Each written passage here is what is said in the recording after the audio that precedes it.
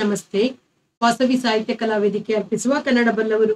ಓದಲೇಬೇಕಾದ ಪುಸ್ತಕಗಳ ಪರಿಚಯಾತ್ಮಕ ಕಾರ್ಯಕ್ರಮದಲ್ಲಿ ಓದುತ್ತಿರುವ ಪುಸ್ತಕ ಮಾಸ್ತಿಯವರ ಸಣ್ಣ ಕಥೆಗಳು ನೂರ ಎಂಬತ್ತೊಂಬತ್ತನೆಯ ಸರಣಿ ಕಾರ್ಯಕ್ರಮ. ಕಥೆಯ ಹೆಸರು ಮಲೆನಾಡಿನ ಒಂದು ಪಿಶಾಚ. ಮಲೆನಾಡಿನ ಒಂದು ಪಿಶಾಚ. ನಾನು ರಾಮರಾಯರು ಒಂದು ಸಲ ಜೊತೆಯಾಗಿ ಪ್ರಯಾಣ ಮಾಡುತ್ತಿದ್ದಾಗ ಪಿಶಾಚಿಗಳನ್ನು ಕುರಿತ ಕಥೆಗಳ ಮಾತು ಬಂದಿತು ಆ ಕತೆ, ಈ ಕತೆ ಮಾತನಾಡುತ್ತಾ ರಾಮರಾಯರು ಅವರ ಸ್ನೇಹಿತರೊಬ್ಬರು ತೀರ್ಥಹಳ್ಳಿಯ ಪ್ರಾಂತ್ಯದಲ್ಲಿ ಇದ್ದಾಗ ಕೇಳಿದ ಒಂದು ಕಥೆಯನ್ನು ಹೇಳಿದರು. ನಾನು ನಿಮಗೆ ಅದನ್ನು ಹೇಳುತ್ತೇನೆ. ತೀರ್ಥಹಳ್ಳಿಯ ಆಚೆ ಮಲೆನಾಡಿನ ಗುಡ್ಡಗಳ ಮಧ್ಯೆ ಕೊನೆ ಇಲ್ಲದ ಕಾಡುಗಳ ಅಂತರಾಳದಲ್ಲಿ ಒಂದು ಹಳ್ಳಿ. ಅದು ಅಲ್ಲಿಯ ಹಳ್ಳಿಗಳಲ್ಲಿ ದೊಡ್ಡದೆನಿಸಿಕೊಳ್ಳುವಂಥದ್ದು. ಆ ಊರಿನಲ್ಲಿ ಒಂದು ಟಪಾಲ್ ಆಫೀಸು ಉಂಟು.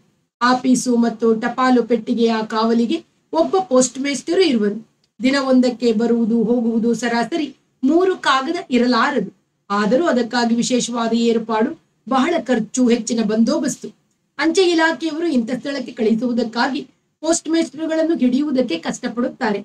ಒಂದು ಸಲ ಅವರು ಈ ಹಳ್ಳಿಗೆ ಕೊಯಮುತ್ತೂರಿನ ನರಸಿಂಹನ್ ಎಂಬಾತನನ್ನು ಕಳುಹಿಸಿಕೊಟ್ಟರು. ನರಸಿಂಹನ್ ಇನ್ನೂ ತರುಣ. ಇದು ದೂರದ ಸ್ಥಳವಾದರೂ ಸಂಬಳ ತಕ್ಕ ಮಟ್ಟಿಗೆ ಸಿಕ್ಕುವುದಲ್ಲದೆ ಒಂದು ಅಲೋಯನ್ಸ್ ಬೇರೆ ಸೇರಿದ್ದುದರಿಂದ ಈ ಸ್ಥಳಕ್ಕೆ ಹೋಗುವುದಕ್ಕೆ ಒಪ್ಪಿಕೊಂಡರು ಅಲ್ಲಿ ಹೋಗಿ ಅನಾನ್ ಅನುಕೂಲ ಮಾಡಿಕೊಂಡು ಮರಳಿ ಬಂದು ಕರೆದುಕೊಂಡು ಹೋಗುತ್ತೇನೆ ಎಂದು ಹೇಳಿ ಹೆಂಡತಿಗೆ ಹೇಳಿ ಈ ಹಳ್ಳಿಗೆ ಬಂದು ಸೇರಿದನು. ಇಂಥ ಊರಿಗೆ ಹೊಸ ಪೋಸ್ಟ್ ಮಾಸ್ಟ್ ಮೇಸ್ಟರ್ಗಳು ಬರುವುದೆಂದರೆ ಬೆಂಗಳೂರಿಗೆ ವೈಸ್ರಾಯರು ಬಂದಂತೆ. ಪೋಸ್ಟ್ ಮೇಸ್ಟರು ಒಂದು ರೀತಿಯಲ್ಲಿ ಚಕ್ರವರ್ತಿ ಚಾರ್ಜರ ಪ್ರತಿನಿಧಿ ಎಂದೇ ಹೇಳಬೇಕು.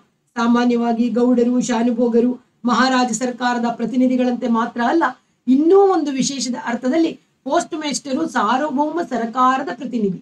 ಎಲ್ಲರನ್ನು ಹೆದರಿಸಬಲ್ಲ ಸ್ಥಳದ ಅಧಿಕಾರಿಗಳು ಪೋಸ್ಟ್ ಮೇಸ್ಟರ್ಗಳನ್ನು ಗಟ್ಟಿಯಾಗಿ ಮಾತನಾಡಿಸುವುದಕ್ಕೆ ಹಿಂತೆಗೆಯುತ್ತಾರೆ. ಪೋಸ್ಟ್ ಮೇಸ್ಟರು ಕೂಡ ಬುದ್ಧಿವಂತನಾಗಿ ನಡೆದುಕೊಂಡರೆ ಜನರಿಗೆ ಬಹಳ ಬೇಕಾದ ಅಧಿಕಾರಿ ಎನಿಸಿಕೊಳ್ಳುವನು ಅವನು ಊರಿನ ಪುಂಡರು ಪಟಿಂಗರನ್ನು ಸ್ವಲ್ಪ ಭಯದಲ್ಲಿಯೇ ಇರಿಸಬಹುದು. ಬರುವ ಕಾಗದವೆಲ್ಲ ಅವನ ಕೈ ಹಾದು ಹೋಗಬೇಕು. ಯಾವ ಸಮಯದಲ್ಲಿ ಯಾವ ಕಾಗದ ಬರುತ್ತದೋ ಅವನು ಅದರಲ್ಲಿ ಒಂದನ್ನು ಹಾರಿಸಿದರೆ ಇವರ ತಲೆ ಹೋಗುವುದು. ಅವನ ತಲೆ ಉಳಿಯುವಂತಿಲ್ಲ ನಿಜ. ಆದರೆ ಇವರಿಗೆ ಭಯ ಇದ್ದೇ ಇರುತ್ತದೆ. ಈ ಎಲ್ಲಾ ಕಾರಣದಿಂದ ಹೊಸ ಪೋಸ್ಟ್ ಮೇಸ್ಟರು ಬರುವುದು ಎನ್ನುವುದು ಇಂಥ ಹಳ್ಳಿಗಳಲ್ಲಿ ಸ್ವಲ್ಪ ವಿಜೃಂಭಣೆಯ ಸಂಭ್ರಮವಾಗುತ್ತದೆ. ನರಸಿಂಹನ್ ಈ ಹಳ್ಳಿಗೆ ಬಂದ ದಿವಸ ಊರೆಲ್ಲ ಅವನನ್ನು ನೋಡುವುದಕ್ಕೆ ಬಂದಿತ್ತು. ಹೆಂಗಸರು, ಮಕ್ಕಳು ಅವರವರ ಬಾಗಿಲುಗಳಲ್ಲಿ ನಿಂತು ನೋಡಿದರು. ಕಾಯಿಲೆಯಲ್ಲಿದ್ದ ಗಂಡಸರು ಬಾಗಿಲು ಜಗಲಿಗಳ ಮೇಲೆ ನಿಂತು ನೋಡಿದರು. ಕಾಯಿಲೆ ಇಲ್ಲದಿದ್ದವರು ಪೋಸ್ಟ್ ಆಫೀಸಿನ ಹತ್ತಿರಕ್ಕೆ ಬಂದು ಅವನನ್ನು ಗುರುತು ಮಾಡಿಕೊಂಡರು. ಊರಿನ ಅನುಕೂಲದ ವಿಚಾರ ನರಸಿಂಹನ್ ಬಹಳ ಯೋಚಿಸುವಂತಿರಲಿಲ್ಲ. ಅವನ ಹಿಂದೆ ಇದ್ದ ಪೋಸ್ಟ್ ಮೇಸ್ಟರು ಅಲ್ಲಿ ಒಂದು ಗುಡಿಸಿನಲ್ಲಿ ನಿಂತಿದ್ದ ಮನೆಯಲ್ಲಿ ಆಫೀಸು ಮನೆ ಎರಡನ್ನೂ ಮಾಡಿದ್ದನು. ಅದರ ಮಾಲೀಕ ಅದರ ಬಗ್ಗೆ ಬಾಡಿಗೆ ತೆಗೆದುಕೊಳ್ಳುವುದಕ್ಕೆ ಮಾಲೀಕನಾಗಿದ್ದೇನೆ ಹೊರತು ಅದರ ಮೇಲೆ ಒಂದು ಕಾಸಿನ ಕೆಲಸವನ್ನು ಮಾಡಿಸುವನಾಗಿರಲಿಲ್ಲ ಹಿಂದೆ ಇದ್ದ ಪೋಸ್ಟ್ ಮೇಸ್ಟರು ಯಾವುದೋ ಸಂದರ್ಭದಲ್ಲಿ ಈ ಮನೆಯನ್ನು ಬಿಡಬೇಕೆಂದು ಯೋಚನೆ ಮಾಡಿದನು. ಅವನಿಗೆ ಬೇರೆ ಮನೆ ಸಿಕ್ಕಲಿಲ್ಲ. ಆತನು ಇದಾದ ಕೆಲ ದಿನಗಳಲ್ಲಿಯೇ ವರ್ಗಕ್ಕೆ ಪ್ರಯತ್ನ ಮಾಡಿದನು.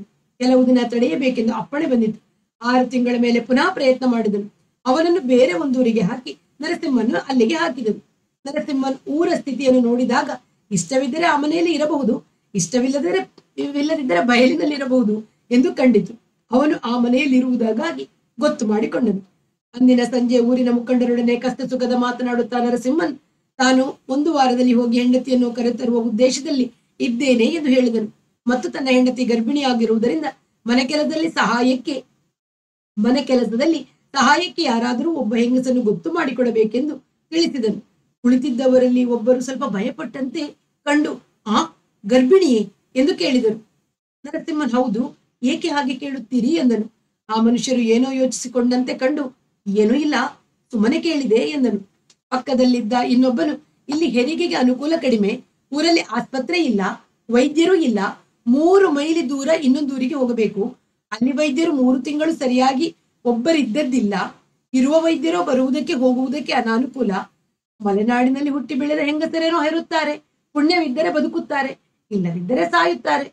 ನಿಮ್ಮ ಹೆಂಡತಿ ಬಯಲು ಸೀಮೆಯ ಹೆಣ್ಣು. ಇಲ್ಲಿಗೆ ಬಂದು ತೊಂದರೆ ಪಡಬೇಕಾದಿತ್ತಲ್ಲ ಎಂದು ಹೇಳಿದರು. ನರಸಿಂಹನ್ ಅದೂ ದೊಡ್ಡ ಊರೋ? ಎಂದು ಕೇಳಿದನು. ಅದು ಇಷ್ಟೇ ಇದೆ ಎಂದರು. ಆಸ್ಪತ್ರೆ ಇಟ್ಟ ಮಹಾರಾಯರು, ಪೋಸ್ಟ್ ಆಫೀಸ್ ಇಟ್ಟ ಮಹಾರಾಯರು, ದೊಡ್ಡ ಊರೆಂದು ಯಾವುದಾದರೂ ಒಂದು ಊರಿನಲ್ಲಿ ಇರಿಸಬಾರದಿತ್ತೇ? ಎಂದು ನರಸಿಂಹನ್ ಕೇಳಿದನು. ನಾವು ಅದನ್ನೇ ಹೇಳಿದೆವು, ಆದರೆ ಊರಿನವರು ಒಪ್ಪಲಿಲ್ಲ. ಎರಡೂ ತಮ್ಮಲ್ಲೇ ಇರಬೇಕೆಂದು ಹಠ ಮಾಡಿದರು. ಕೊನೆಗೆ ನಮ್ಮ ತಾಲೂಕ್ ಸುಬೇದಾರರು, ಜಗಳ ಯಾರಿಗೂ ಬೇಡ, ಪೋಸ್ಟ್ ಆಫೀಸ್ ಒಬ್ಬರಿಗೆ, ಆಸ್ಪತ್ರೆ ಒಬ್ಬರಿಗೆ ಇರಲಿ ಎಂದು ಜಗಳ ಹರಿಸಿದರು. ಆ ಊರಿಗೆ ಆಸ್ಪತ್ರೆ ಆಯ್ತು, ನಮಗೆ ಪೋಸ್ಟ್ ಆಫೀಸ್ ಆಯ್ತು ಎಂದು ಊರ ಮುಖಂಡರು ಹೇಳಿದರು. ನರಸಿಂಹನ್, ಬಲ ತಾಯಿ ಹೆತ್ತ ತಾಯಿಯೊಂದಿಗೆ ಮಗುವನ್ನು ಕೊಯ್ದು ಹಂಚಿಕೊಳ್ಳುವುದಕ್ಕೆ ಒಪ್ಪಿಕೊಂಡಳು ಅಂತ ಒಂದು ಕತೆ ಇದೆ. ಇದು ಅದರ ಸಮಾಚಾರವಾಯಿತು ಎಂದನು. ಇಲ್ಲಿ ಅಂತ ಅನ್ಯಾಯವೇನು ಆಗಲಿಲ್ಲವೆಂದು ನಿಮಗೆ ತೋರಬಹುದು. ಆದರೆ ನರಸಿಂಹನ್ ತನ್ನ ಅನನುಕೂಲದಲ್ಲಿ ನ್ಯಾಯವನ್ನು ಕುರಿತು ಅಷ್ಟು ಯೋಚನೆ ಮಾಡಲಿಲ್ಲ. ಆ ದಿನ ರಾತ್ರಿ ಅವನು ತನ್ನ ಮನೆಯಲ್ಲಿ ಕುಳಿತಿರುವಾಗ ಆ ಸಂಜೆ, ಗರ್ಭಿಣಿಯೇ, ಹಾ, ಎಂದು ಹೇಳಿದ್ದ ಮನುಷ್ಯನು ಇವನು ಕುಳಿತಿದ್ದ ಸ್ಥಳಕ್ಕೆ ಬಂದನು. ಹತ್ತಿರ ಕುಳಿತು ನಿಮಗೆ ಒಂದು ವಿಷಯವನ್ನು ಹೇಳಬೇಕೆಂದಿದ್ದೆ. ಹತ್ತು ಜನರ ಎದುರಿಗೆ ಏಕೆ ಎಂದು ಸುಮ್ಮನಾದೆ. ನೀವು ನಿಮ್ಮ ಹೆಂಡತಿಯನ್ನು ಇಲ್ಲಿ ಕರೆತರಬೇಡಿ ಎಂದನು. ನರಸಿಂಹನ್ ಯಾಕೆ ಎಂದು ಕೇಳಿದನು. ಮುದುಕನು ಕೊಂಚಕ್ಕೆ ಉತ್ತರ ಹೇಳಲಿಲ್ಲ. ಬಹಳ ಬಲವಂತ ಮಾಡಿದ್ದರ ಮೇಲೆ ನೀವು ಪರಸ್ಥಳದಿಂದ ಬಂದವರು. ನಿಮಗೆ ಸ್ಥಳದ ಈ ವಿವರವೆಲ್ಲ ಬೇಡ. ಊರಿನ ಮಾತು ಸಾವಿರ ಬರುತ್ತೆ. ಇರುತ್ತದೆ. ಮುಖ್ಯ ನಿಮ್ಮ ಮನೆಯವರು ನಿಮ್ಮ ಊರಿನಲ್ಲಿಯೇ ಹೆರಿಗೆ ತೀರಿಸಿಕೊಂಡು ಮಗುವಿನೊಂದಿಗೆ ಇಲ್ಲಿಗೆ ಬರಲಿ ಎಂದನು. ನರಸಿಂಹನಿಗೆ ಇದು ಏನು ವಿಷಯವೋ ಎಂದು ಕುತೂಹಲ ಆದರೆ ಅದನ್ನು ವಿವರವಾಗಿ ಕೇಳಲು ಇಷ್ಟವಿಲ್ಲ. ಅವನು ಕಷ್ಟಕ್ಕೆ ಸಿಕ್ಕಿದನು. ಅವನ ಹೆಂಡತಿಯ ಹೊರತು ಬೇರೆ ಜನವಿರಲಿ, ಅವನಿಗೆ ಹೆಂಡತಿಯ ಹೊರತು ಬೇರೆ ಜನವಿರಲಿಲ್ಲ. ಅವಳ ಹುಟ್ಟಿದ ಮನೆಯ ಜನವು ಯಾರೂ ಇಲ್ಲ. ಯಾವ ತೊಂದರೆ ಇದ್ದರೂ ಅವನ ಹೆಂಡತಿಯನ್ನು ಆ ಹಳ್ಳಿಗೆ ಕರೆತರಬೇಕು. ಆ ಹೆರಿಗೆ ಅಲ್ಲಿಯೇ ಆಗಬೇಕು. ಇನ್ನು ಈ ಮನುಷ್ಯನ ಮಾತನ್ನು ವಿವರವಾಗಿ ಕೇಳಿ ಪ್ರಯೋಜನವೇನು? ಮನಸ್ಸಿಗೆ ಒಂದು ಭಯ ಬಂದ ಹಾಗಾಗುವುದಲ್ಲದೆ ಬೇರೆ ಯಾವ ಫಲವೂ ಕಾಣಲಿಲ್ಲ. ಹೀಗೆಂದುಕೊಂಡು ಒಡನೆಯೇ ನರಸಿಂಹನಿಗೆ ಇನ್ನೊಂದು ಯೋಚನೆ ತೋರಿತು. ತೊಂದರೆ ಏನೆನ್ನುವುದು ತಿಳಿದರೆ ಅದರ ನಿವಾರಣೆಯ ಕುರಿತು ಯೋಚಿಸಬಹುದು, ಕೈಯಲ್ಲಾದೇ ಏರ್ಪಾಡು ಮಾಡಬಹುದು. ಹಾಗಿಲ್ಲದೆ ಆ ಬರುವ ತೊಂದರೆ ಎನ್ನುವುದು ಇದ್ದಕ್ಕಿದ್ದ ಹಾಗೆ ಬಂದು ಆಗ ಏನು ತೋಚದೆ ಪೇಚಾಡುವ ಹಾಗೆ ಆದರೆ ಇವನ ಎಚ್ಚರಿಕೆಯ ಮಾತು ವ್ಯರ್ಥವಾದೀತು, ವ್ಯರ್ಥವಾದಂತಾದೀತು. ಇದು ಮನಸ್ಸಿಗೆ ತೋರಿ ನರಸಿಂಹನ್ ಆ ಮನುಷ್ಯನನ್ನು ಕುರಿತು, ನೀವು ಹೇಗಿದ್ದರೂ ನನ್ನ ಒಳ್ಳೆಯದಕ್ಕಾಗಿ ನನಗೆ ಎಚ್ಚರಿಕೆ ಹೇಳಿದ್ದೀರಿ. ನಿಮ್ಮ ಮನಸ್ಸಿನ ಭಯವೇನು ನನಗೆ ತಿಳಿಸಿಬಿಡಿ. ನಾನು ಅವಶ್ಯಕವಾದ ಏರ್ಪಾಡು ಮಾಡಿಕೊಳ್ಳುತ್ತೇನೆ ಎಂದು ಹೇಳಿದನು. ಆ ಮನುಷ್ಯನು ಬಹಳ ಹೊತ್ತು ಯೋಚಿಸಿ, ಸ್ವಾಮಿ, ಊರಲ್ಲಿ ಒಂದು ಬಾಣಂತಿ ಪಿಶಾಚ ಇದೆ. ಯಾವ ಕಾಲದಲ್ಲಿ ಯಾವ ಕಾರಣದಿಂದ ಆ ಬಾಣಂತಿ ಜೀವ ಬಿಟ್ಟಳೋ ನನಗೆ ತಿಳಿಯದು. ನಮ್ಮೂರಲ್ಲಿ ಯಾವ ಹೆರಿಗೆಯಾಗಬೇಕಾದರೂ ಜನ ಸುಮ್ಮನೆ ಎದುರುತ್ತಾರೆ ಹೆರಿಗೆಯಾದ ಕ್ಷಣದಲ್ಲಿ ಹೊಲೆ ಕಳೆಯುವವರೆಗೆ ಒಂದು ಕ್ಷಣ ಮಾತ್ರ ಮನೆಯವರು ಅಜಾಗ್ರತೆಯಿಂದ ಇದ್ದರೆ ಆ ಪಿಶಾಚ ಹೊಲೆ ಮನೆಯೊಳಗೆ ನುಸುಳಿ ಬಿಡುತ್ತದೆ. ಮಗುವನ್ನು ಕೊಂದು ತಾಯಿಯನ್ನು ಮಾಯ ಮಾಡುತ್ತದೆ. ತಾನು ಆ ಹೆಂಗಸಿನಂತೆ ಹೊಲೆ ಮನೆಯಲ್ಲಿ ಮಲಗುತ್ತದೆ. ಒಂದು ತಿಂಗಳು ಎರಡು ತಿಂಗಳು ಆ ಗಂಡನನಿಗೆ ಸಂಸಾರ ಮಾಡುತ್ತಾ ಇದ್ದು ಎಂದೋ ಒಂದು ದಿನ ಹೊರಗೆ ಹೋದದ್ದು ಮರಳಿ ಬರುವುದಿಲ್ಲ. ಈ ಕಾರಣದಿಂದ ಅನೇಕ ಅನೇಕರು ತಮ್ಮ ಹೆಂಗಸರನ್ನು ಈ ಊರಿನಲ್ಲಿ ಹೆರಿಗೆಗೆ ನಿಲ್ಲಿಸಿಕೊಳ್ಳುವುದಿಲ್ಲ. ಇದಕ್ಕಾಗಿಯೇ ನಿಮಗೆ ನಾನು ಈ ಎಚ್ಚರಿಕೆಯ ಮಾತನ್ನು ಹೇಳಿದ್ದು. ಇಲ್ಲಿಯ ಹೆಣ್ಣು ಮಕ್ಕಳನ್ನೇ ಬೇರೆ ಕಡೆಗೆ ನಾವು ಕಳಿಸುತ್ತಿರುವಾಗ ನೀವು ಎಲ್ಲಿಯೋ ಸುಖವಾಗಿರುವ ಹೆಂಡತಿಯನ್ನು ಇಲ್ಲಿಗೆ ಕರೆತರೋಣ ಬೇಕೆ ಆಕೆ ಇಲ್ಲಿ ಹೆರೋಣ ಬೇಕೆ ಏನಾದರೂ ಹೆಚ್ಚು ಕಡಿಮೆಯಾದರೆ ನಿಮಗೆ ದುಃಖ ಬರೋಣ ಬೇಕೆ ಏನೋ, ನಾನು ಮುದುಕ. ನೀವು ಚಿಕ್ಕ ವಯಸ್ಸಿನವರು. ಸುಖವಾಗಿರಲಿ ಎನ್ನುವ ಆಸೆಯಿಂದ ಇದನ್ನು ಹೇಳಿದೆ. ಕ್ಷಮಿಸಬೇಕು ಎಂದನು. ನರಸಿಂಹನ್ ತಕ್ಕ ಮಟ್ಟಿಗೆ ಓದಿದ ಮನುಷ್ಯ. ಪಿಶಾಚ ಗಿಶಾಚವೆಂದರೆ ಅಷ್ಟೇನು ನಂಬುವವನಲ್ಲ. ಆದ್ರೆ ನಮ್ಮಲ್ಲಿ ಅನೇಕರಿಗೆ ಪಿಶಾಚ ಇದೆ ಎಂಬ ನಂಬಿಕೆ ಇಲ್ಲದೇ ಇದ್ದರೂ ಪಿಶಾಚ ಇಲ್ಲ ಎನ್ನುವ ನಂಬಿಕೆ ಇಲ್ಲ. ಯಾರಾದರೂ ಎನ್- ಏನಾದರೂ ಇಂಥ ಒಂದು ಮಾತನ್ನು ಹೇಳಿದರೆ ನಾವು ಏನೋ ಯಾರು ಬಲ್ಲರೋ ಎನ್ನುವ ಸ್ಥಿತಿಯಲ್ಲಿ ಇರುತ್ತೇವೆ. ಅಥವಾ ಪಿಶಾಚವಿಲ್ಲವೆನ್ನುವುದು ಇಲ್ಲವೆಂದೇ ನಂಬಿಕೆ ಇದ್ದರೂ ಅದು ತಿಳುವಳಿಕೆಯ ವಿಷಯವಾಗಿರುತ್ತದೆ, ಹೃದ್ಗತವಾಗಿರುವುದಿಲ್ಲ. ಹೀಗಿರುವಾಗ, ಹೀಗಿರುವ ಜನರಿಗೆ ಇಂಥ ಮಾತನ್ನು ಕೇಳಿದಾಗ ನಂಬಿಕೆಯೇ ಇಲ್ಲದೆ ಮೈ ಜುಮ್ಮೆನ್ನುತ್ತದೆ ನರಸಿಂಹನದು ಇದೇ ಸ್ಥಿತಿ. ಅವನು ಬಂದಿದ್ದ ಈ ಸ್ಥಳವು ಮಲೆನಾಡಿನ ಒಂದು ಹಳ್ಳಿ. ಇಲ್ಲಿ ಬೇಕಾದ ಜನವಿಲ್ಲ. ಇವರ ಹೊಲೆ ಮೈಲಿಗೆ ಏನೆನ್ನುವುದು ಅವನಿಗೆ ತಿಳಿಯದು. ಅಥವಾ ತಾನು ಇದನ್ನೆಲ್ಲ ನಂಬದೇ ಇದ್ದರೂ ತನ್ನ ಹೆಂಡತಿ ಇಲ್ಲಿಗೆ ಬಂದು ಈ ಕಥೆಯನ್ನೆಲ್ಲಾದರೂ ಕೇಳಿದರೆ ಅವಳ ಗತಿ ಏನು? ಇದನ್ನೆಲ್ಲ ಕುರಿತು ನರಸಿಂಹನ್ ಬಹಳ ಹೊತ್ತು ಯೋಚಿಸಿದನು. ಈ ಮನುಷ್ಯನು ಹೊತ್ತಾಯಿತು. ಈ ಮನುಷ್ಯನನ್ನು ಹೊತ್ತಾಯಿತು ತಾವು ಮನೆಗೆ ಹೋಗಿ ಎಂದು ಕಳುಹಿಸಿಕೊಟ್ಟನು. ತಾನು ಒಂಟಿಯಾಗಿದ್ದೇನೆ ಎಂಬ ಒಂದು ಭಾವವನ್ನು ಅದುವರೆಗೆ ಅನುಭವಿಸದ ರೀತಿಯಲ್ಲಿ ಅನುಭವಿಸಿದನು. ಏನು ಮಾಡುವುದೆಂದು ನಾಳೆ ನೋಡೋಣ ಎಂದು ಮಲಗಿಕೊಂಡು ಬಹಳ ಹೊತ್ತು ನಿದ್ದೆ ಬಾರದೆ ಆಮೇಲೆ ನಿದ್ರಿಸಿದನು. ಆ ನಿದ್ದೆಯು ಅಷ್ಟು ಸುಖವಾಗಿರಲಿಲ್ಲ. ಏನೋ ಭೂತ, ಏನೋ ಪ್ರೇತ, ಎಲ್ಲಿಯೋ ಬಲಿಯಾಗುವುದು, ಯಾವುದೋ ಕೊನೆ. ಕನಸಿನಿಂದ ಎದ್ದು ನರಸಿಂಹನ್ ಉದಯದ ಬೆಳಕನ್ನು ನೋಡಿ ಸದ್ಯ ಬೆಳಗಾಯ್ತಲ್ಲ ಎಂದುಕೊಂಡನು.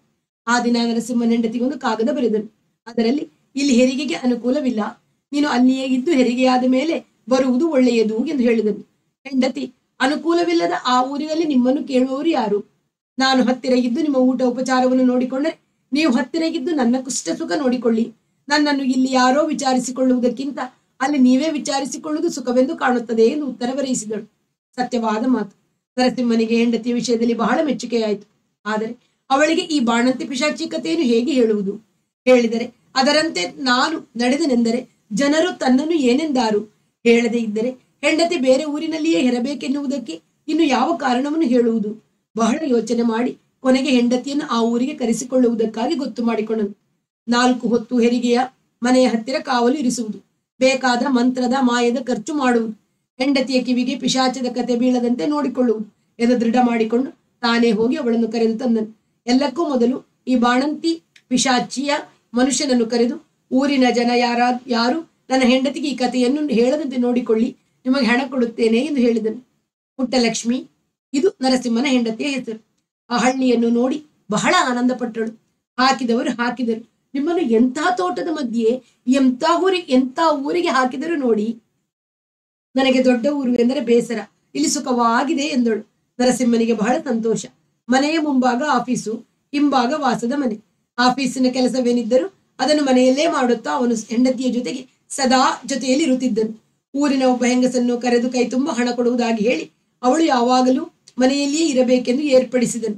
ತಾನು ಅರವತ್ತುಗಳಿಗೆಯೂ ಎಚ್ಚರದಿಂದಿರುತ್ತಿದ್ದನು ವಿಷಾದದ ಕಥೆಯನ್ನು ಹೇಳಿದ ಮುದುಕನ ಮೂಲಕ ಮಾತ್ರ ಒಬ್ಬ ಮಾಂತ್ರಿಕನಿಂದ ಒಂದು ರಕ್ಷೆಯನ್ನು ತರಿಸಿ, ಅದನ್ನು ಹೆಂಡತಿ ಮಲಗುವ ಕಡೆ ಹಾಸಿಗೆ ಅಡಿಯಲ್ಲಿ ಸುಪ್ಪತ್ತಿಗೆಯ ಒಳಗೆ ಸೇರಿಸಿ ಹೊಲಿದನು. ಹೆರಿಗೆಯ ದಿನ ಬಂದಿತು. ಒಂದು ದಿನ ಹೆರಿಗೆಯೂ ಆಯಿತು. ನರಸಿಂಹನ್ ಆ ಸಮಯದಲ್ಲಿ ಹೊರಗೆ ನಿಂತಿದ್ದನು. ಹೆರಿಗೆಯಾದ ಒಡನೆ ಮಗು ಅತ್ತಿತು ನರಸಿಂಹನ್, ಪುಟ್ಟಲಕ್ಷ್ಮಿ ಸೌಖ್ಯವಾಗಿದ್ಯಾ ಎಂದು ಕೇಳಿದನು. ಹೆಂಡತಿ ಗೊಣಗಿದ್ದು ಹೊರತು ಉತ್ತರವೇನು ಹೇಳಲಿಲ್ಲ. ಸೌಖ್ಯವಾಗಿದ್ದಾರೆ ಸ್ವಾಮಿ, ಚಿಂತಿಸಬೇಡಿ ಎಂದು ಧೈರ್ಯ ಹೇಳಿದಳು ಸೂಲಗಿತ್ತಿ. ಸ್ವಲ್ಪ ಹೊತ್ತಿನ ನಂತರ ಪಕ್ಕದ ಊರಿನ ಡಾಕ್ಟರ್ ಬಂದರು. ಬಾಣಂತಿಗೆ ತಕ್ಕ ಔಷಧದ ಏರ್ಪಾಡು ಹೇಳಿ ಹೋದರು. ಸಂಜೆಗೆ ಪುಟ್ಟಲಕ್ಷ್ಮಿ ಒಳಗಡೆಯಿಂದ ಮೆಲ್ಲನೆ ಮಾತನಾಡಿ, ನಾನು ಸೌಖ್ಯವಾಗಿದ್ದೇನೆ, ನೀವು ಚಿಂತಿಸಬೇಡಿ, ಮಗುವು ಸುಖವಾಗಿದೆ ಎಂದು ಹೇಳಿದಳು. ನರಸಿಂಹನ್ ಧೈರ್ಯಗೊಂಡು ಇನ್ನು ಯೋಚನೆ ಇಲ್ಲ ಎಂದುಕೊಂಡನು. ಆ ಸರಿ ಹೊತ್ತು, ಆ ರಾತ್ರಿ ಸರಿ ಹೊತ್ತಿನಲ್ಲಿ ಕಾವಲಿನ ಹೆಂಗಸು ಹೆರಿಗೆಯ ಮನೆಯ ಬಾಗಿಲಿನ ಮುಂದೆ ಮಲಗಿದ್ದವಳು, ಹೋ ಎಂದು ಕೂಗಿಕೊಂಡು ಎದ್ದು, ಈ ಬಾಗಿಲು ತೆಗೆದವರು ಯಾರು ಎಂದು ಕೇಳಿದಳು. ನರಸಿಂಹನ ಹತ್ತಿರದಲ್ಲೇ ಮಲಗಿದ್ದ ದೀಪ ಆರಿರಲಿಲ್ಲ ನೋಡಿದರೆ ಹಾಕಿದ ಬಾಗಿಲು ತೆಗೆದಿತ್ತು. ಒಳಗೆ ಯಾವ ಶಬ್ದವೂ ಕೇಳಲಿಲ್ಲ. ಮೆಲಗೆ ಮೆಲ್ಲನೆ ಪುಟ್ಟಲಕ್ಷ್ಮಿ ಎಂದು ಕರೆದನು. ಒಂದು ಧ್ವನಿ ಆ ಎಂದು ಹೇಳಿತು. ಧ್ವನಿ ತನ್ನ ಹೆಂಡತಿಯ ಧ್ವನಿ ಅಲ್ಲವೆಂದು ನರಸಿಂಹನಿಗೆ ತೋರಿತು. ಆದರೆ ಆ ಸಂದೇಹವನ್ನು ಅವನು ತೋರಿಸದೆ ನಿದ್ದೆ ಬಂದೀತೆ ಎಂದು ಕೇಳಿದನು. ಹೌದು, ಯಾಕೆ ಕೇಳುತ್ತೀರಿ ಎಂದು ಧ್ವನಿ ಕೇಳಿತು. ನರಸಿಂಹನಿಗೆ ಈಗಲೂ ಧ್ವನಿ ಒಂದು ಮಾದರಿಯಾಗಿಯೇ ಕೇಳಿತು ಧೈರ್ಯ ಮಾಡಿ, ಏಕೆ ಧ್ವನಿ ಹೀಗಿದೆ ಎಂದು ಕೇಳಿದನು. ಹೇಗಿದೆ ಧ್ವನಿ? ಮಲಗಿಕೊಳ್ಳಿ. ಹೆತ್ತ ದಿವಸ ಎಂದಿನಂತೆಯೇ ಇರುತ್ತದೆಯೇ ಧ್ವನಿ? ಎಂದು ಉತ್ತರ ಬಂದಿತು. ನರಸಿಂಹನು ಕಾವಲ ಹೆಂಗಸನ್ನು ಬಾಗಿಲನ್ನು ಮುಂದಕ್ಕೆ ಎಳೆದುಕೊಂಡು ಮಲಗಿಕೊಳ್ಳಿ. ಗಾಳಿಗೆ ತೆರೆದಿದೆ ಎಂದು ಸಮಾಧಾನ ಪಡಿಸಿ ತಾನು ಮರಳಿಕೊಂಡನು ಮರಳಿ ಮಲಗಿಕೊಂಡನು. ಮಾರನೇ ದಿನ ಏಳುವ ಹೊತ್ತಿಗೆ ಮಗು ತೀರಿ ಹೋಗಿತ್ತು. ಪುಟ್ಟಲಕ್ಷ್ಮಿ, ತಾನು ಹೆತ್ತ ಮಗು ಹೀಗಾಯಿತೆ ಎಂದು ಬಹಳ ಗೋಳಾಡಿದಳು. ಕಾವಲ ಹೆಂಗಸು ಅದನ್ನು ತೆಗೆದುಕೊಂಡು ಹೋಗಿ ಊರಿನ ವಾಡಿಕೆ ಸ್ಥಳದಲ್ಲಿ ಹೂತು ಬಂದಳು. ಹತ್ತು ದಿನದ ಮೇಲೆ ಪುಟ್ಟಲಕ್ಷ್ಮಿ ಸ್ನಾನ ಮಾಡಿ ಹೊರಕ್ಕೆ ಬಂದಳು. ನರಸಿಂಹನ್ ಎಂದಿನಂತೆ ಅವಳೊಂದಿಗೆ ವಿಶ್ವಾಸದಿಂದ ನಡೆದುಕೊಳ್ಳುತ್ತಾ ಊರಿನ ಕಥೆಯನ್ನು ಮರೆತಂತೆ ಇದ್ದನು. ಕೆಲವು ದಿನಗಳ ಮೇಲೆ ಒಂದು ರಾತ್ರಿ ಏನೋ ಎಚ್ಚರವಾಗಿ ನರಸಿಂಹನ್ ಪುಟ್ಟಲಕ್ಷ್ಮಿ ಎಂದು ಕರೆದನು. ಉತ್ತರ ಕೊಡಲಿಲ್ಲ. ಅವಳಿದ್ದ ಕಡೆ ಕೈ ಹಾಕಿ ನೋಡಿದನು. ಅವಳಿರಲಿಲ್ಲ. ದೀಪ ದೊಡ್ಡದು ಮಾಡಿ ಪುಟ್ಟಲಕ್ಷ್ಮಿ ಎಂದು ಕೂಗುತ್ತಾ ಅಡಿಗೆ ಮನೆ, ಸ್ನಾನದ ಮನೆ ಹಜಾರವನ್ನು ನೋಡಿದನು. ಅಷ್ಟು ಹೊತ್ತಿಗೆ ಬಾಗಿಲ ಕಡೆಯಿಂದ ಪುಟ್ಟಲಕ್ಷ್ಮಿ, ಇದೇನು ಹೀಗೆ ಓಡಾಡುತ್ತಿದ್ದೀರಿ? ಎಂದು ಕೇಳುತ್ತಾ ಒಳಗೆ ಬಂದಳು. ನರಸಿಂಹನ್, ನೀನು ಎಲ್ಲಿಗೆ ಹೋಗಿದ್ದೆ? ಎಂದನು. ಪುಟ್ಟಲಕ್ಷ್ಮಿ, ಇದೇನು? ಹೆಂಡತಿಯ ಸೆಗ, ಸೆರಗು ಹಿಡಿದುಕೊಂಡೇ ಓಡಿಯಾಡುತ್ತೇನೆ ಎನ್ನುತ್ತೀರಿ. ಕೈಕಾಲು ತಡೆದುಕೊಳ್ಳುವುದಕ್ಕೆ ಹೋಗಬೇಡವೇ ಎಂದು ಹೇಳಿದನು. ನೀನು ಹಿತ್ತಲ ಕಡೆಯಿಂದ ಬರಲಿಲ್ಲವಲ್ಲ, ಬೀದಿಗೆ ಹೋಗುವುದುಂಟೆ, ಇಲ್ಲಿ ಹುಲಿ ಚಿರತೆ ಉಂಟು ಎಂದನು. ಪುಟ್ಟಲಕ್ಷ್ಮಿ, ಆ ಭಯವೆಲ್ಲ ನಿಮಗೆ, ನನಗಿಲ್ಲ ಎಂದು ಹಾಸ್ಯವಾಗಿ ನಕ್ಕಳು. ಬನ್ನಿ, ಸುಮ್ಮನೆ ಮಲಗಿಕೊಳ್ಳಿ ಎಂದು ನರಸಿಂಹನನ್ನು ಒಳಗೆ ಕರೆದುಕೊಂಡು ಹೋದಳು. ಇದಾದ ಎಂಟು ದಿನಕ್ಕೆ ನರಸಿಂಹನಿಗೆ ಸರಿ ರಾತ್ರಿಯಲ್ಲಿ ಹೀಗೆ ಎಚ್ಚರಿಕೆ ಆಯಿತು. ಮತ್ತೆ ಅವನು ಪುಟ್ಟಲಕ್ಷ್ಮಿ ಎಂದು ಕೂಗಿದನು ಅವಳಿರಲಿಲ್ಲ ದೀಪವನ್ನು ದೊಡ್ಡದು ಮಾಡಿ ಮನೆಯೆಲ್ಲ ಹುಡುಕಾಡಿದನು. ಅವಳು ಇರಲಿಲ್ಲ. ಆಗಲೂ ಬೀದಿಯ ಕಡೆಯಿಂದ ಬಂದಳು. ಎಲ್ಲಿ ಹೋಗಿದ್ದಿ ಎಂದು ಕೇಳಿದ್ದಕ್ಕೆ, ನೀವೇನು ನನಗೆ ಮನೆಯನ್ನು ಬಂದಿಕಾನೆ ಮಾಡುತ್ತಿದ್ದೀರಿ ಎಂದಳು. ನರಸಿಂಹನ್ ಸ್ವಲ್ಪ ಅಸಮಾಧಾನ ಪಟ್ಟನು. ಬಂದು ಮಲಗಿದನು. ಅವಳು ಬಂದು ತನ್ನ ಹಾಸಿಗೆಯಲ್ಲಿ ಮಲಗಿಕೊಂಡಳು. ನರಸಿಂಹನ್ ಮನಸ್ಸಿನಲ್ಲಿ ಯಾವುದೋ ಭೀತಿ ಮೂಡಿತು. ಅವನು ತನ್ನ ಹೆಂಡತಿಯ ನಡೆನುಡಿಯನ್ನು ವಿವರವಾಗಿ ನೋಡುವುದಕ್ಕೆ ಮೊದಲು ಮಾಡಿದನು. ಹೆತ್ತ ದಿನದ ರಾತ್ರಿ ಒಳಗಿಂದ ಮಾತನಾಡಿದ ಧ್ವನಿ ಯಾವುದೋ ಒಂದು ರೀತಿ ಕಂಡಂತೆ ಅವನಿಗೆ, ಈ ಪುಟ್ಟಲಕ್ಷ್ಮಿ ಯಾವುದೋ ವಿಧದಲ್ಲಿ ಮಾರ್ಪಟ್ಟಾಗಿದ್ದಾಳೆ ಎಂದು ತೋರಿತು. ಯಾವ ಲಕ್ಷಣದಿಂದ ಇದು ತೋರಿತೆಂದರೆ ಅವನು ಹೇಳುವಂತಿರಲಿಲ್ಲ. ಆದರೆ ಮಾರ್ಪಾಟು ಉಂಟೆಂದು ಮನಸ್ಸಿಗೆ ತೋರುತ್ತಿತ್ತು. ಅವನು ತನ್ನನ್ನು ಆಗಾಗ ಒಂದೇ ಸಮನೆ ನೋಡುತ್ತಿರುವುದನ್ನು ಕಂಡು, ಏನು? ನನ್ನನ್ನು ಹೀಗೆ ನೋಡುತ್ತೀರಿ? ಎಂದು ಕಾಣದ ಹಾಗೆ ಎಂದು ಕೇಳುವಳು. ಸುಮ್ಮನೆ ನೋಡಿದೆ ಎನ್ನುವನು. ಒಂದು ಸಲ ಹೀಗಾದಾಗ, ನನ್ನನ್ನು ಏನೋ ಪರೀಕ್ಷೆ ಮಾಡುವ ಹಾಗೆ ನೋಡುತ್ತೀರಲ್ಲ ಎಂದಳು. ಹೌದು ಎಂದು ಉತ್ತರ ಕೊಟ್ಟನು. ಕೊಟ್ಟ ಲಕ್ಷ್ಮಿ, ನೋಡಿದರೆ ಎಲ್ಲ ತಿಳಿಯುತ್ತದೆಯೇ? ಎಂದು ಸ್ವಲ್ಪ ವಿಕಟ ರೀತಿಯಿಂದ ನಕ್ಕಳು. ನರಸಿಂಹನಿಗೆ ಮನಸ್ಸು ಅಶಾಂತವೇ ಆಯಿತು. ಅದರ ಮಾರನೆಯ ದಿನ ಇವನು ನಡೆಯುವುದಕ್ಕೆ ಹೋದಾಗ ಪಿಶಾಚಿಯ ಕತೆ ಹೇಳಿದ ಮುದುಕನು ಇವನ ಜೊತೆಗೆ ಬಂದನು. ಕ್ಷೇಮ ಸಮಾಚಾರ ಕೇಳುತ್ತಾ ಅಮ್ಮ ಅವರು ಸೌಖ್ಯವಾಗಿದ್ದಾರೆ ಹೇಗೆಂದು ಕೇಳಿದರು. ಸೌಖ್ಯವಾಗಿದ್ದಾರೆ. ಹೆತ್ತ ಮಾರನೆಯ ದಿನ ಮಗು ಹೋಯಿತಲ್ವೇ ಹೌದು. ಅಮ್ಮನವರು ಎಂದಿನಂತಿದ್ದಾರಷ್ಟೇ? ಏಕೆ ಹೀಗೆ ಕೇಳುತ್ತೀರಿ? ಸ್ವಾಮಿ ನನ್ನನ್ನು ಕ್ಷಮಿಸಬೇಕು. ನಾನು ಕಾಡಿನಲ್ಲಿ ಬೆಳೆದವನು. ನನಗೆ ನಯ ತಿಳಿಯದು. ನಮಗೇನೋ ನಂಬಿದ್ದೆಲ್ಲ ನಂಬಿಕೆ. ನನಗೇನೋ ಭಯ. ಹೆತ್ತ ದಿನ ಏನೋ ಹೊಲೆಯಾಯಿತು. ಅಜಾಗ್ರತೆಯಾದಿತ್ತೀತೆ ಎಂಬ ಶಂಕೆಯಿಂದ ಕೇಳಿದ್ದೇನೆ ಹೊರತು ಇನ್ನೇನು ಇಲ್ಲ. ನೀವು ಜಾಗ್ರತೆಯಿಂದ ಇದ್ದು ಅಮ್ಮವರು ಸುರಕ್ಷಿತವಾಗಿದ್ದರೆ ಸಾಕು. ನನಗೇನಾಗಬೇಕು? ಹೌದು, ನೀವೇನೋ ಕತೆ ಹೇಳಿದಿರಲ್ಲ. ಪಿಶಾಚ ಹೋಗಿಬಿಟ್ಟು ಹೆಂಡತಿ ಆಗಿ ಬಿಡುತ್ತೆ ಅಂತ. ಅದು ಪಿಶಾಚ ಅಂತ ಆ ಗಂಡನಿಗೆ ತಿಳಿಯೋದು ಹೇಗಂತೆ? ಆ ವಿವರವೆಲ್ಲ ನನಗೆ ಅಷ್ಟಾಗಿ ತಿಳಿಯದು. ಇದು ಈಚೆಗೆ ನಡೆದ ವಿಷಯವಲ್ಲ ನೋಡಿದಿರಾ? ಎಂದಿನದೋ ಮಾತು. ಅದನ್ನು ನಾನು ಹೇಗೆ ಹೇಳಲಿ? ಅಲ್ಲ, ಕಥೆಯಲ್ಲಿ ಏನು ಹೇಳುತ್ತಾರೆ? ಅಯ್ಯೋ, ಕತೆ, ಮಾತು ಏನು ಸ್ವಾಮಿ? ಕತೆಗೆ ಕಾಲಿಲ್ಲ. ಸಂಸಾರ ಮಾಡಿಕೊಂಡು ಹೆಂಡತಿ ಇದ್ದ ಹಾಗೆ ಇರುತ್ತಾಳಂತೆ. ಏನೋ ಸ್ವಲ್ಪ ವ್ಯತ್ಯಾಸ ಇದ್ದ ಹಾಗೆ ಕಾಣುತ್ತದಂತೆ. ಯಾವುದರಲ್ಲಿ ಅಂತ ಹೇಳೋ ಹಾಗಿಲ್ಲ. ಅದೇನೋ ವಾರಕ್ಕೆ ಒಂದ್ಸಲ ಊರ ಹೊರಗೆ ಇರುವ ದೇವಾಲಯದಲ್ಲಿ ದೀಪ ಹಚ್ಚೋದಕ್ಕೆ ಅಂತ ಹೋಗ್ತಾಳಂತೆ. ಗಂಡ ಎಚ್ಚರಗೊಂಡು ಎಲ್ಲಿ ಹೋಗಿದ್ದೆ ಅಂತ ಕೇಳೋಣ. ಪಿಶಾಚಿಯಲ್ಲೂ ಹಿತ್ತಲಿಗೆ ಹೋಗಿದ್ದೆ ಎನ್ನೋಣ. ಮನೆಯ ಹೆಂಗಸು ಸಂದೇಹ ಪಡುವ ಹಾಗಿಲ್ಲ, ಬಿಡೋ ಹಾಗಿಲ್ಲ. ಕತೆಗೆ ಹೇಳಿ, ಹೇಳಿದ್ದೆಲ್ಲ ಕತೆಯೇ. ನರಸಿಂಹನ್ ಎದೆಗುಂದಿದನು. ತನ್ನ ಅನುಭವವನ್ನು ಈ ಮುದುಕನು ಹೀಗೆ ಹೇಳಬೇಕಾದರೆ ಈಗ ನನ್ನೊಡನೆ ಸಂಸಾರ ಮಾಡುತ್ತಿರುವುದು ನನ್ನ ಪುಟ್ಟಲಕ್ಷ್ಮಿ ಅಲ್ಲ. ಆ ಬಾಣಂತಿ ಪಿಶಾಚಿ ಇರಬೇಕು ಎಂದು ಅವನಿಗೆ ಖಂಡಿತವಾಯಿತು. ನಡೆಯನ್ನು ಮುಗಿಸಿಕೊಂಡು ಅವನ ಮನೆಗೆ ಬಂದನು. ಆ ದಿನವೆಲ್ಲ ಏನೋ ಚಿಂತೆಯಲ್ಲಿ ಕಾಲ ಕಳೆದನು. ಮನೆಯಲ್ಲಿ ಪುಟ್ಟಲಕ್ಷ್ಮಿ ಎಂದಿನಂತೆ ಅಡುಗೆ ಮಾಡಿದಳು, ಎಂದಿನಂತೆ ಬಡಿಸಿದಳು, ಎಂದಿನಂತೆ ಮಾತನಾಡಿದಳು. ನರಸಿಂಹನ್ ಇದು ಯಾವುದೋ ಬೇಡ, ಯಾವುದೂ ಬೇಡ, ಬೇಡದವನಂತೆ ಇದ್ದನು. ರಾತ್ರಿ ಊಟವಾದ ಮೇಲೆ ಮಲಗಿಕೊಂಡನು. ನರಸಿಂಹನ್ ಎಂದಿಗಿಂತ ದೂರ ಹಾಸಿಗೆ ಹಾಕಿಕೊಂಡನು. ಇದೇನು ಎಂದಳು ಪುಟ್ಟಲಕ್ಷ್ಮಿ. ನರಸಿಂಹನೇನು ಕಾಣದ ಹಾಗೆ? ಏನು ಎಂದನು? ಪುಟ್ಟಲಕ್ಷ್ಮಿ ತನ್ನ ಹಾಸಿಗೆಯನ್ನು ಇವನ ಹಾಸಿಗೆ ಬಳಿ ತೆಳೆದಳು ನೀವು ದೂರ ಹೋದರೆ ನಾನು ಒಪ್ಪುತ್ತೇನೆಯೇ? ನಿಮಗೆ ನಾನು ಬೇಡದೆ ಇದ್ದರೂ ನನಗೆ ನೀವು ಬೇಕು ಎಂದಳು. ನರಸಿಂಹನಿಗೆ ಇಂಥ ಮಾತುಗಳೆಲ್ಲ ವಿಕಾರವಾದ ಅರ್ಥ ತೋರಿತು. ಇದು ಪಿಶಾಚಿಯೋ ಅಲ್ಲ, ನನ್ನ ಪುಟ್ಟಲಕ್ಷ್ಮಿಯೋ ಕಂಡುಹಿಡಿಯಬೇಕು ಎಂದು ಅವನು ಗೊತ್ತು ಮಾಡಿಕೊಂಡನು. ಇದು ತಿಳಿಯುವವರೆಗೆ ದೇವರೇ ಗತಿ ಎಂದು ಎದ್ದಿನ, ಎಂದಿನಂತೆ ಇದ್ದು ಬಿಡುವುದು ಎಂದುಕೊಂಡನು. ಇದಾದ ಕೆಲ ದಿನಗಳಲ್ಲಿ ಮರಳಿ ಒಂದು ರಾತ್ರಿ ನರಸಿಂಹನಿಗೆ ಎಚ್ಚರವಾದಾಗ ಪುಟ್ಟಲಕ್ಷ್ಮಿ ಮನೆಯಲ್ಲಿರಲಿಲ್ಲ. ಅದು ಯಾವ ವಾರವೆಂದು ಅವನು ನೋಡಿಕೊಂಡನು. ಅದರ ಮಾರನೆಯ ವಾರ ಅದೇ ದಿನ ರಾತ್ರಿ ಮಲಗುವಾಗ ಬಾಗಿಲ ಅಗಳಿ ಹಾಕಿ ಅದರಡಿಗೆ ತೆಳ್ಳನೆಯ ಒಂದು ತೆಂಗಿನ ಕರಟವನ್ನು ಇಟ್ಟನು. ಅರ್ಧ ರಾತ್ರಿ ಯಾರೋ ಬಾಗಿಲು ತೆಗೆದಂತಾಗಲು ಕರಟ ಒಡೆದ ಶಬ್ದವಾಯಿತು. ನರಸಿಂಹನ್ ಎದ್ದು, ಯಾರದು? ಎಂದನು. ಪುಟ್ಟಲಕ್ಷ್ಮಿ, ನಾನು ಹೊರಗೆ ಹೋಗಲು ಬಾಗಿಲು ತೆಗೆದೆ ಎಂದು ಹೇಳಿ ಹೊರಗೆ ಹೋಗಿ ಕೈಕಾಲು ತೆಳೆದುಕೊಂಡು, ತಳೆದುಕೊಂಡಂತೆ ಮಾಡಿ ಒಳಗೆ ಬಂದಳು. ಮರುದಿನ ನರಸಿಂಹನ್ ಪುಟ್ಟಲಕ್ಷ್ಮಿಯ ಸೀರೆಯ ಒಂದು ನೂಲನ್ನು ಎಳೆದು ತನ್ನ ಬೆರಳಿಗೆ ಸುತ್ತಿಕೊಂಡನು.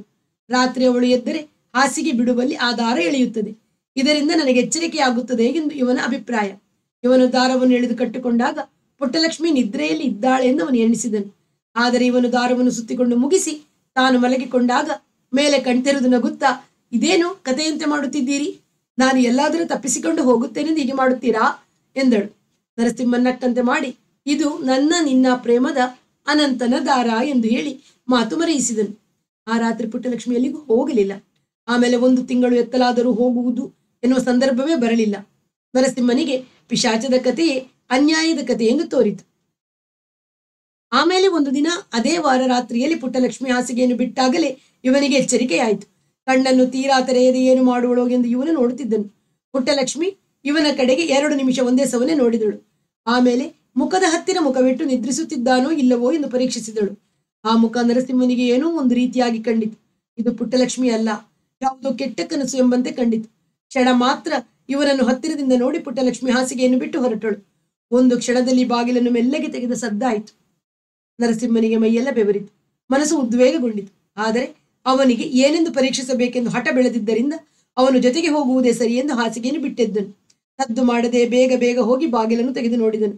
ಪುಟ್ಟಲಕ್ಷ್ಮಿಯ ಆಕಾರ ಬೀದಿಯನ್ನು ಸೇರಿತು. ಇವನು, ದೇವರೇ, ನೀನು ಕಾಪಾಡು ಎನ್ನುತ್ತಾ ಅವಳ ಹಿಂದೆಯೇ ಹೋದನು. ಆ ಆಕಾರ ತೀವ್ರವಾಗಿ ಹೆಜ್ಜೆ ಇಡುತ್ತಾ ಊರ ದಕ್ಷಿಣಕ್ಕೆ ಹೊರಡಿತು. ಒಂದು ಸೀಳು ದಾರಿ. ಅಲ್ಲಿ ಈ ಕಡೆಗೆ, ಆ ಕಡೆಗೆ ದೊಡ್ಡ ಮರಗಳು. ಕೊನೆಗೆ ಒಂದು ತಗ್ಗಿನಲ್ಲಿ ದೊಡ್ಡ ಮರದ ಅಡಿಯಲ್ಲಿ ಊರಭೂತದ ದೇವಾಲಯವಿದೆ. ತಗ್ಗು ಹತ್ತಿರವಾದ ಹಾಗೆ ನರಸಿಂಹನಿಗೆ ಧೈರ್ಯ ಕುಗ್ಗುತ್ತಾ ಬಂತು. ಆದರೆ ಹಿಂದಿರುಗುವುದು ಹೇಗೆ? ಅವನು ದೇವರನ್ನು ನೆನೆಯುತ್ತಾ ಮುಂದೆ ನಡೆದನು. ಸ್ವಲ್ಪ ಹೊತ್ತಿನಲ್ಲೇ ಅವನು ಗುಡಿಯ ಎದುರಿನಲ್ಲಿ ನಿಂತನು. ಒಳಗೆ ಭೂತದ ವಿಕಟ ಮೂರ್ತಿ ಅದರ ಪಕ್ಕದಲ್ಲಿ ಒಂದು ದೀಪ.